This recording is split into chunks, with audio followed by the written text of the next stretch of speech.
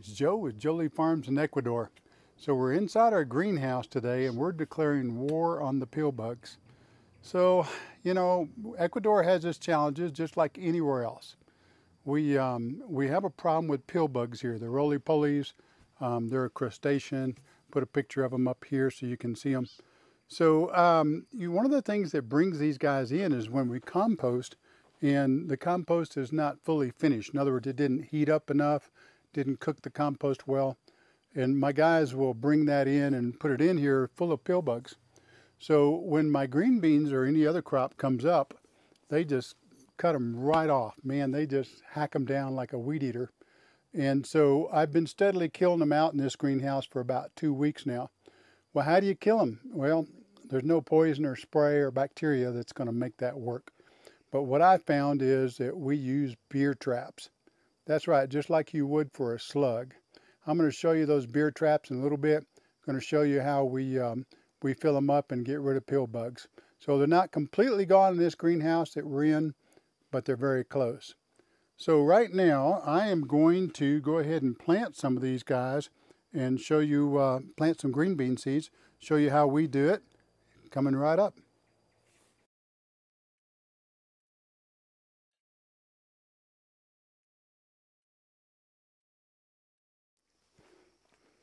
So right here, I've got my green bean seeds. I've been soaking them in water this morning.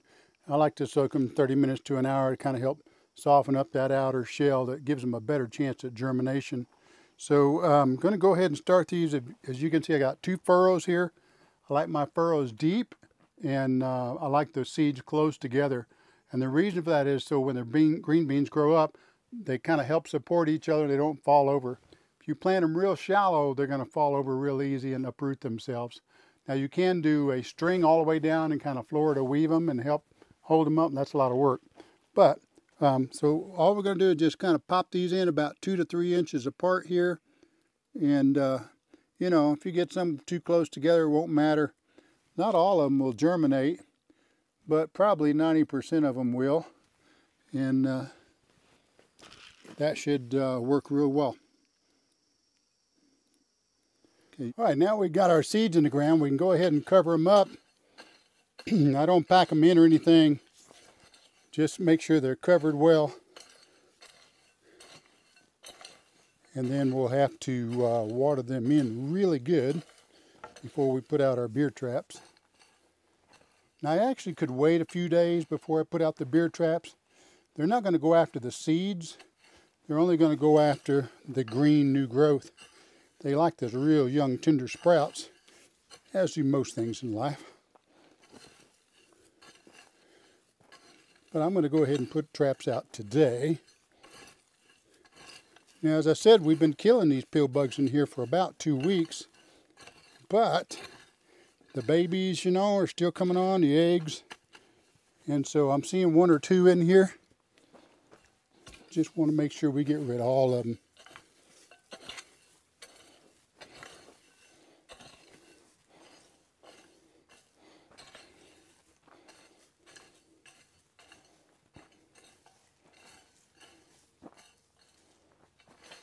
Now, one of the things I've done with other types of plants that are being planted a little further apart is I'll put collars around them.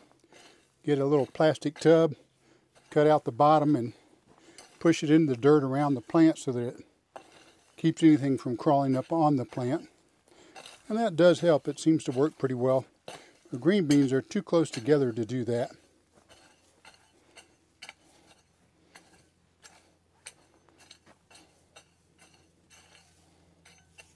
Okay, now all we need to do is water.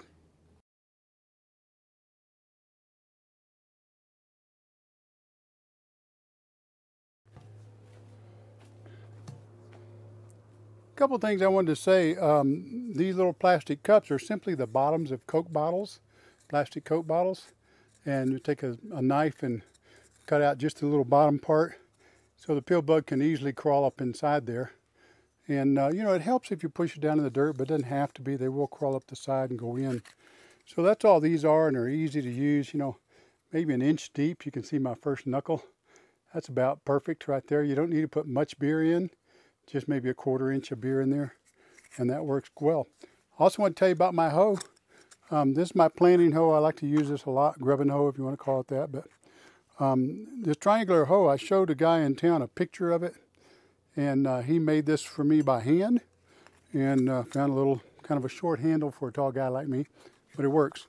Um, so these guys here in Ecuador, man, they hand make this stuff. You can go show them whatever you want. And uh, they make that happen. And he did a fine job on this one. All right, so I planted some green beans in here a few days ago in the other greenhouse, and I can see that they're starting to come up. There's some little ones right there. I did put beer in here and killed out most of the pill bugs, but I'm going to put some more. And I'm using this cheapest beer I can find, which is the Siembra. It's actually made from corn. The pill bugs seem to love it. Their preferred drink of choice. So all I got to do is just put a little bit in each cup. And uh, you know, it's good if you push these cups down in the soil a little ways, uh, make it easier for them to climb in. For some reason, they get in, drink the beer, and die, and they stay right there. Don't know why that is, but um, you'll come in here, and you will find millions of uh, little pill bugs all died inside these cups. You can see here, here's some green beans that didn't get eaten by the last round.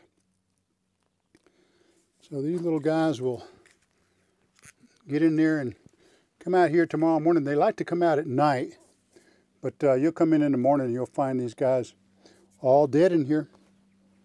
It works like a champ. See you on the next one.